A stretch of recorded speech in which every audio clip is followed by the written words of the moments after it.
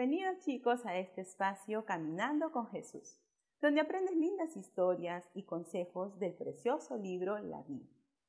Hoy hablaremos acerca del respeto. El respeto chicos es un valor, es no hacerle mal o daño a otra persona. Y eso nos enseña la palabra de Dios. En el libro de Mateo, el capítulo 7, el versículo 12 nos dice, en todo traten a los demás tal y como quieren que ellos los traten a ustedes. Si a nosotros nos gusta que nos traten bien, que nos muestren amor y nos muestren respeto, pues debemos de empezar tratando bien a las demás personas, a aquellos que están a nuestro alrededor. El respeto, chicos, te va a librar de muchas cosas y te va a ayudar a mantener a los amigos. Así que no te olvides. Lo que dice la palabra de Dios, comienza tratando bien a los demás.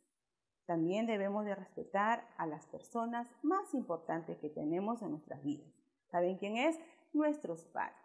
Debemos nosotros de aprender a respetarlos cada día.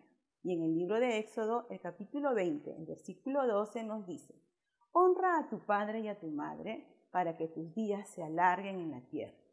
¿Y qué es honrar?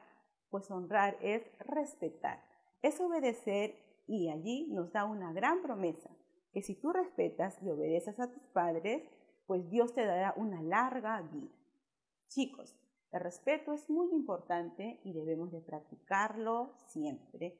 Y la palabra de Dios nos enseña que si lo practicamos cada día va a ser una gran bendición a nuestras vidas. Bien chicos, que Dios les bendiga a cada uno de ustedes y nos vemos muy pronto. Adiós.